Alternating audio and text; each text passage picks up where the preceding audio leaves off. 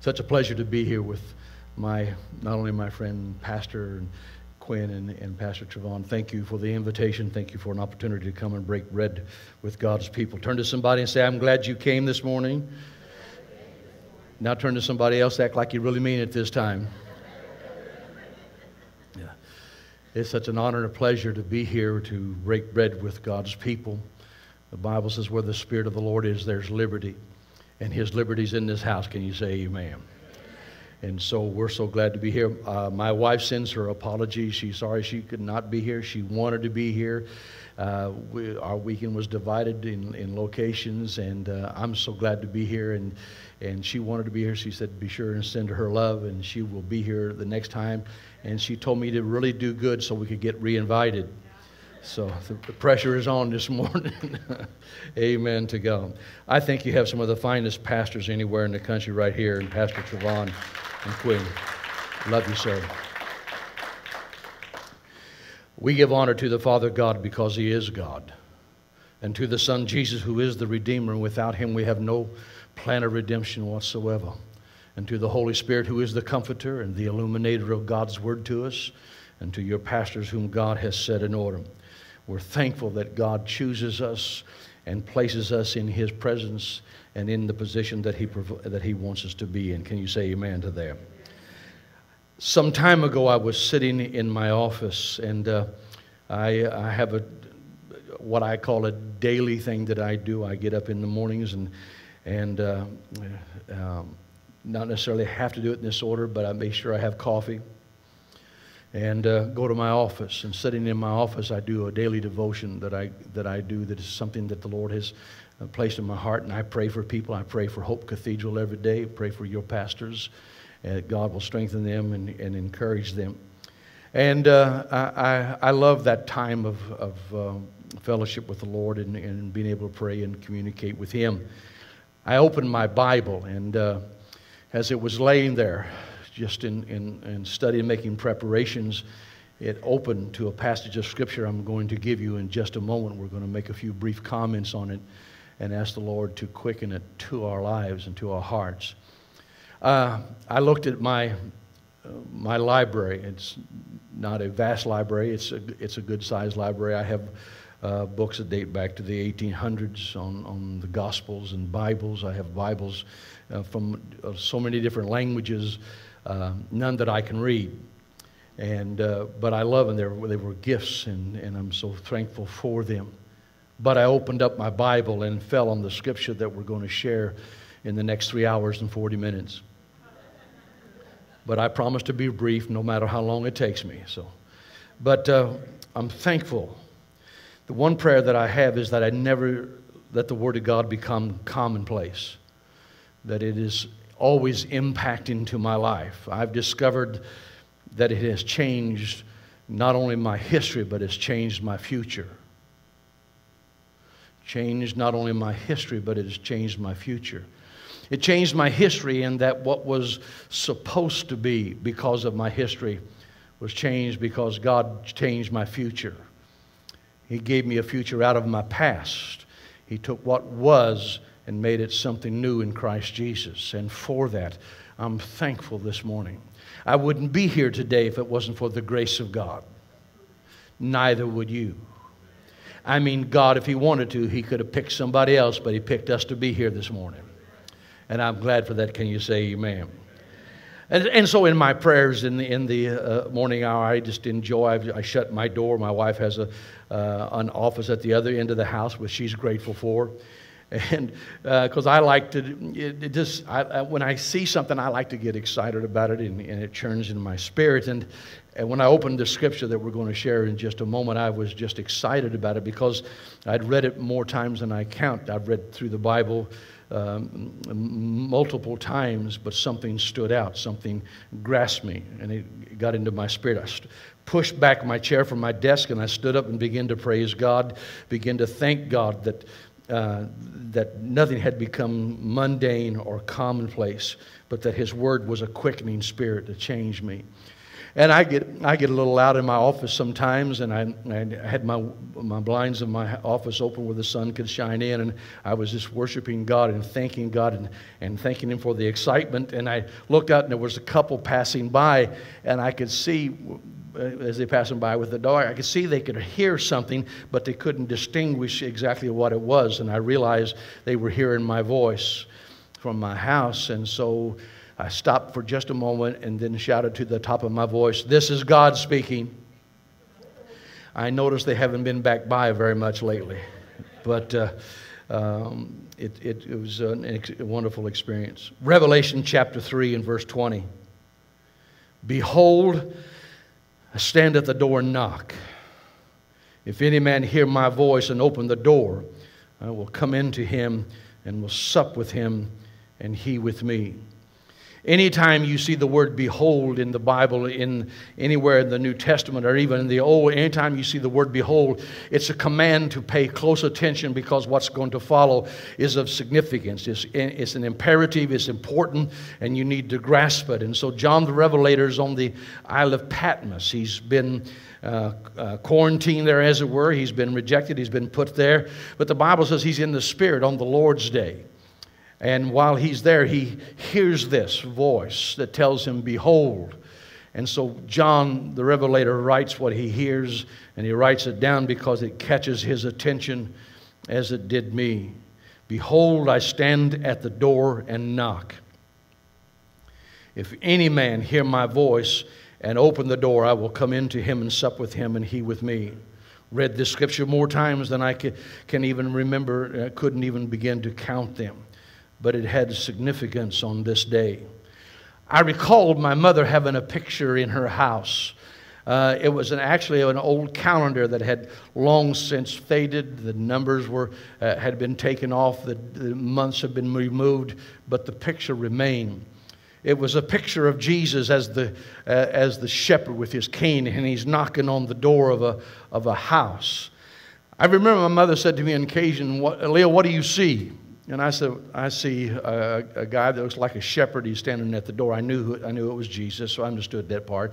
I said, He's knocking on the door. And she said, That's, that's right.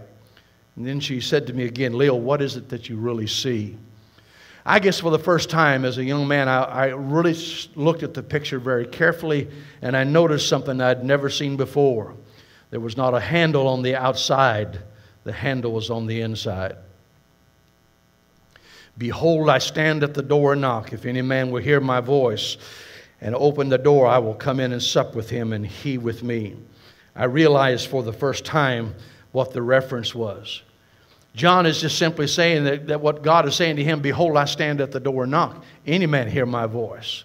And I, I paused because it gave me great consternation. I, I was trying to uh, collectively pull my thoughts together and understand this because I'm beginning to have something unfold in my, in my heart that I, that I knew, but it was, was impacting this time as never before. I saw something I'd never seen before. It, it was, it was uh, almost overwhelming.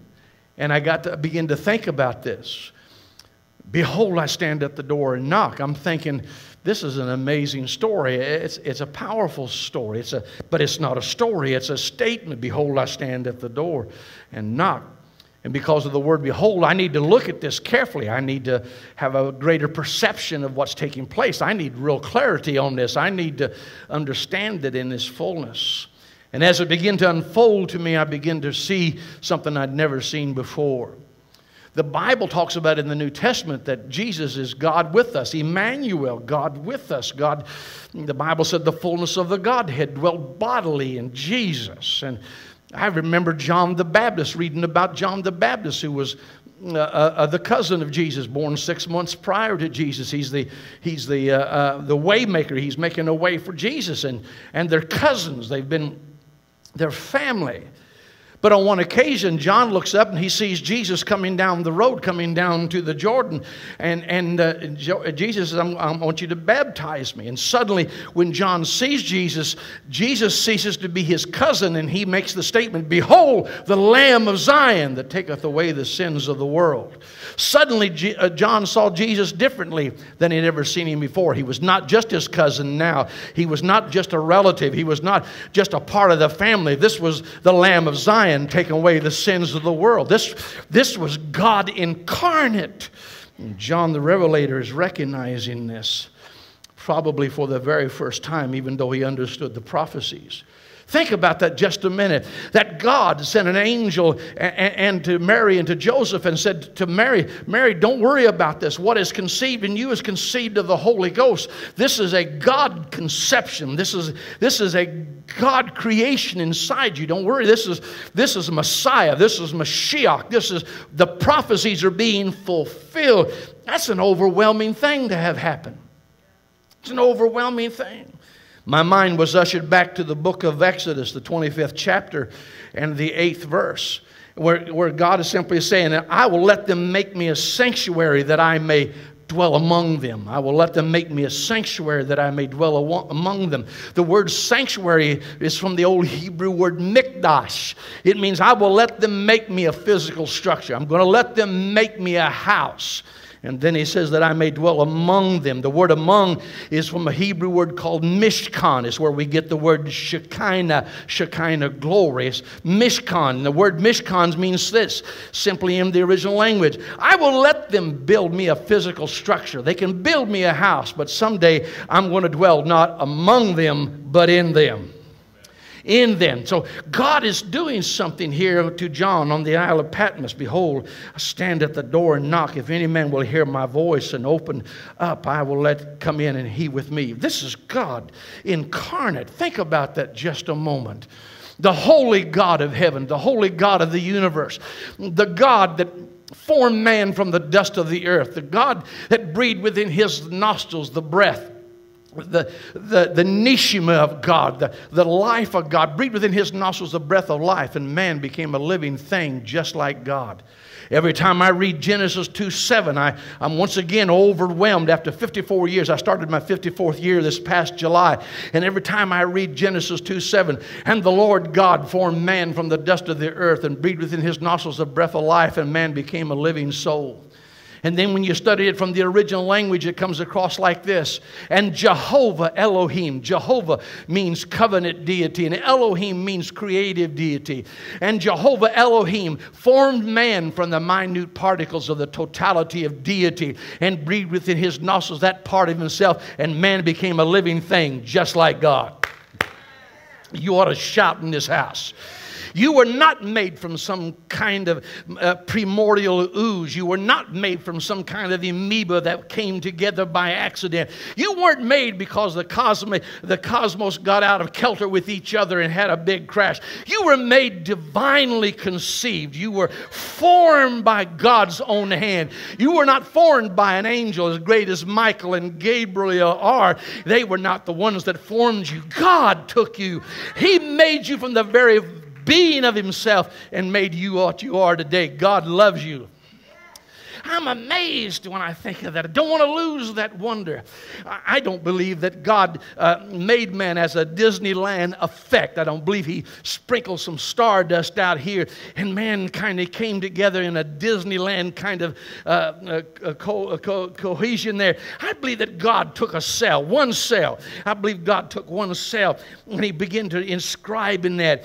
Uh, scientists tell us today that within every single cell of your body, there's over three billion billion bits of information.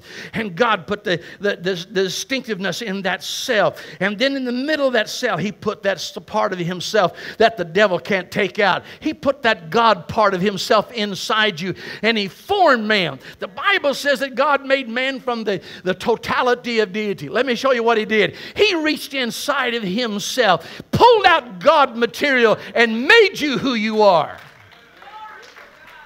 And you wonder why the devil hates you, he hates you because down in the deep recesses of who you are, down in the core of your being, there's a piece of God in you that he can't destroy. There's a piece of the divine nature of the King of Kings and the Lord of Lords that lays down deep inside you. And the devil doesn't want you to ever figure that out because if you ever figure that out, you'll be bone of his bone and flesh of his flesh, heirs of God, and joint heirs with Jesus Christ. You can never be the same again. John the Bab- John the Revelator on the Isle of Patmos. He looks up into the heavens and he hears this voice Behold, I stand at the door and knock. If any man will open up, I'll come in and sup with him. It is divinity personified, it is the Godhead in its entirety. It is, it is Emmanuel, God with us. It is, it is Shalom, the God of peace. It is, it is of all the names of God rolled into one. He's standing at your door asking access to your heart, knocking at your door. This God who made the ground you stand on, this God who made the stars in the heavens that you look up in the night and see, this God who formed the sun and put it up there and made the moon the lesser light, this God who pulled the mountains up and made the valleys, this God who spoke into existence and the fish of the sea came into life. He spoke and the lands were created. Everything he made. This God stands at your door knocking and asking to come in. Does not have to. He didn't have to ask. He didn't have to knock. If he wanted to, he could come in. He's King of Kings. He's Lord of Lords. But no, he stands at your door uh, with all the ugliness on the inside. I know what you've been through. I've been through that thing, same thing. When the ugliness of my past, when the, the life that I was living was not pleasing to him, and yet he's standing at my door, knocking, knocking at my door. He didn't have to do that. He didn't have to wait for me to answer, but He wanted me to ask Him to come in. This God of the universe, He could push the door down if He wanted to. He could disintegrate your house, but He doesn't do that. He stands at your heart's door asking to you let Him in. Turn to somebody and say, Let Him in. This God. This God of the universe. I'm sitting in my office and I'm looking at this God, the King of Kings, the, the Emmanuel, the, the, the, the great Messiah, the Lamb of God. He doesn't have to knock at my door. He could take and make 10 more planets just like this if he wanted to. All he had to do was speak the word only. The Bible says, And my servant shall be healed, said one man. But Jesus stands at your door and he knocks at your door, waiting for you to let him in waiting for you to let him. Turn to somebody's body and say, let, let Jesus in. Behold, I stand at the door and knock. If any man will hear my voice and open up, I'll come in and sup with him. I, I, I don't know about you. When you became a Christian, you were probably uh, uh, really holy and righteous and probably had everything pretty cleaned up. But when Jesus knocked at my door, it was a mess. There wasn't no way I wanted to let him in. I said, I, I said, Jesus, if you'll wait just a minute, I need to straighten up some things. Just give me a moment to push some of the, the, the, the, the books aside and the magazines aside. Just, just give me a moment to turn off the television, God. Just, just give me a moment to turn down the radio. And, and God, just, just give me a moment. I want to clean up the kitchen. But God's not waiting for you to clean up your kitchen. He's not waiting for you to clean up your bedroom or to clean up your living room. All He wants to do, He's let me in. I'm knocking at your door. Just open up. Let me in. And if you'll do that, if you'll do that, I'll change everything about you. I'll change it by coming into your life and making a new creature out of you. I don't know how that blesses you, but that blesses me. Listen, he said, I'll come in. I, I, I, remember, I remember the story. I'll never forget many years ago uh, of a, a, lady who worked for a, a, wealthy woman for many, many years, and, and the, the, the, lady passed away. And so the pastor came by to the lady who had worked for the wealthy woman for a, a long time. He came by and he just wanted to check on her, make sure she was okay. And, and she said, Pastor, I, am doing good. And, he, and, and he, she said to him, Pastor, let me go fix us a, a, a cup of tea if you don't mind. And he said, Fine. And so she went into the kitchen, began began to make some tea, and he began to look at the pictures on her wall, pictures of the family and relatives, and, and, um, and he saw a, a, number of pictures there, and he, and he took off his glasses and, and cleaned them and, and, looked again about the time she was coming in, and, and uh, uh, he, he said to her, I said, ma'am, do you, uh, these pictures, are your family and friends? And she said, yes, that's family and friends. He said, what about this, this one plaque on the wall here? What is that? The lady looked at him and said, Pastor, I, I, that was from the lady I'd worked for. She, she wanted me to have that, uh, it, and it was a gift for me. And so, so he, she gave it to me. He says, Have you ever read what the plaque says? She said, No, Pastor, almost embarrassed. She says, I never learned to read. The pastor looked at her and said, This is the title deed for everything the woman owned that you work for, hanging on your wall. How many of us have the title deed laying in front of us on our book stands and on our coffee tables?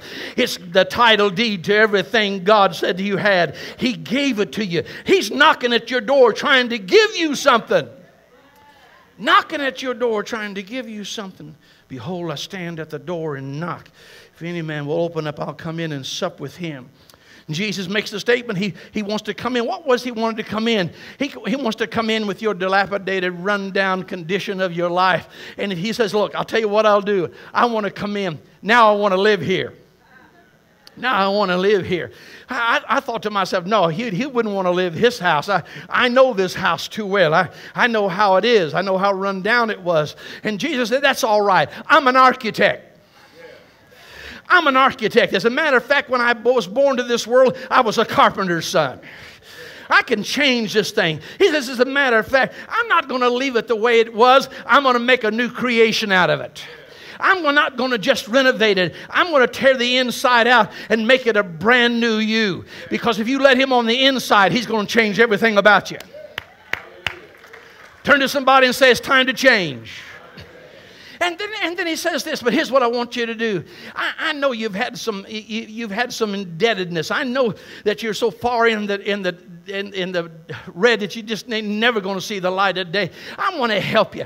So here's what I wanted to do. I want to buy all the property. I, I've paid for it already. I went to all your debtors and I've paid the debt off. But I want you to sign the title deed over to me and, and you, you sign the title deed over to him, and he, he becomes the owner of your house. And he says, I'm going to build you a new house on the inside, and you, you can live there as long as you want. And then when you die, I got another house for you on the other side. So you live in a brand new house. What does that mean? It means this the next time the devil comes to collect on a debt from your house, the next time the enemy comes to your door trying to collect on a debt you couldn't pay, and, and Jesus is there in your house. You tell the devil, I, I, Excuse me just a minute, Satan. I, I don't own this house anymore. Let me introduce you to the new owner of the facility.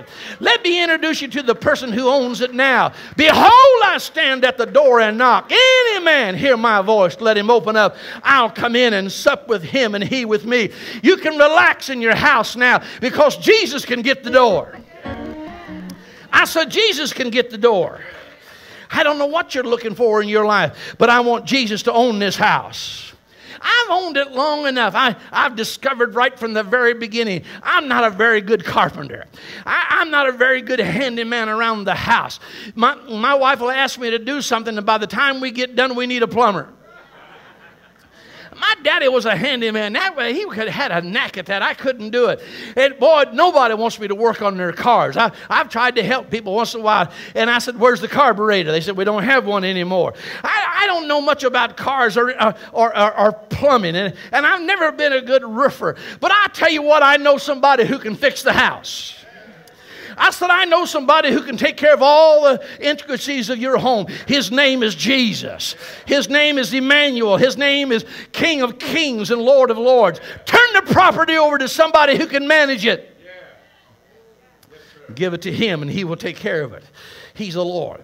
Behold, I stand at the door and knock. If any man will hear my voice and open up, I'll come in and, him, and sup with him and he with me. You see, I, I never forget the, the old, the old uh, uh, Rabbi jo, uh, Judah Ha Levite made the statement. He said, I went out to run and find my God and found him running after me, chasing after me, chasing after me. I'll never forget the three men uh, in 2007, three men, one from Taiwan, one from the United States, and one from Canada. They ran over 4,000 miles. They, they ran a, a, a, um, a equivalent to two marathons every day. It took them four months to cross the Sahara Desert and six countries. They braved every kind of condition that you can imagine, had all kinds of in- injuries. But they, they, they ended up by the Red Sea. They ran all that distance just to do one thing, is to dip their hands down in the Red Sea and pull up the water out of the Red Sea. They ran across six countries. They ran uh, for four months. They ran every day of their lives for four months just to dip their hand in the Red Sea. And I've got some news for you. Jesus came across the galaxies and the universe. He came from every corner of the cosmic uh, uh, uh, universe that is in existence. And He came. This Jesus who created all these things came and He landed at your door and He's knocking to come in. Why would you dare hesitate to let Him come in? He came through the eons of time, He came through thousands and millions of, uh, of, of cosmic years, and He stands at your door this morning and say, Behold, I stand at the door and knock. I challenge you just one time to let Him come in, and He'll change everything about your life. Behold, I stand at the door and knock. Any man hear my voice and let him in, I'll come in and sup with him. Jesus is knocking at the door. Let him in. Turn to somebody and say, Let him in. So that the next time sickness knocks at your door, you don't have to answer it. You just say, Jesus, get the door. The next time the devil comes to knock at your door to collect on a debt you that was already paid for, just say, Jesus, you get the door. And then hang a sign out in your front yard, no trespassing. This means you. Make up your mind to let him in. Make up your mind to let Jesus in. If you'll let him in, let him take over, let him take control, he'll change everything about your life. Can you say amen? Stand with me across, all across this room. Stand with your feet, please. The God of the universe, the God of all creation, standing here in this room today with you. All he wants is you to open the door and let him in. Trust me when I tell you, he'll change everything about you. I remember as a, as a young man coming up, my father was an alcoholic from the time he was 15 till in his 30s, dying of cancer of the stomach when doctors gave him up to die. Jesus came into his hospital room and saved his soul and healed his body, made a new creature out of him. I remember my grandfather who was an alcoholic. I remember me, them telling me about my great grandfather who was an alcoholic. Three generations of alcohols, alcoholics, three generations of people who had been cursed by the devil. I, I heard people say, well, you know, Leo's just like the Price family. He's just like, just like his dad, just like his granddad. He's going to be just like that. But I met somebody that could change history. I met somebody that could change my history. I met somebody that could change everything about me. And when he came into my life, he changed what was. The history didn't make any difference to him.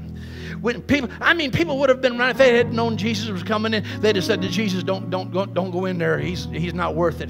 But Jesus says, "If He'll let me in, I'll make him worth it." And so He stands at your door and knocking everything that you've encountered in your life, everything that has beat you down and beat you up, and what the devil's tried to beat you out of, God said, I'll, I'll restore it. I'll change it about you and make something brand new in your life. Can you say amen to that?